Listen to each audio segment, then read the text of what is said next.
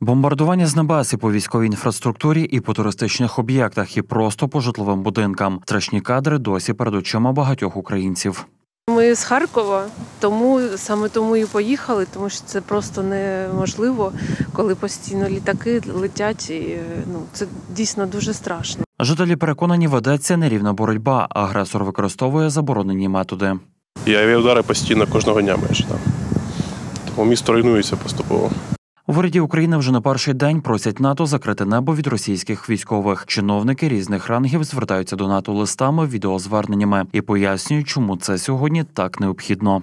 Страждають мирні люди, є жертви серед мирного населення, і найгірше, що є жертви серед дітей. Е, Ракети попадають у дитячі лікарні, ракети попадають у роддоми. Засоби протиповітряної оборони нашої держави, звичайно, намагаються протистояти цьому е, досить успішно, але, ну, на жаль, цього недостатньо, і тому е, президент України.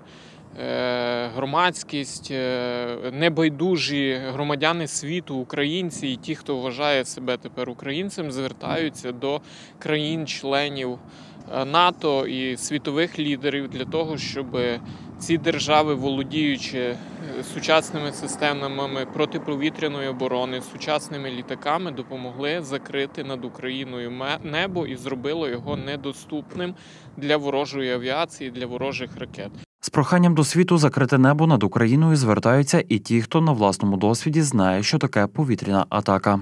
Закрийте небо від цих росіян, від цього Путіна.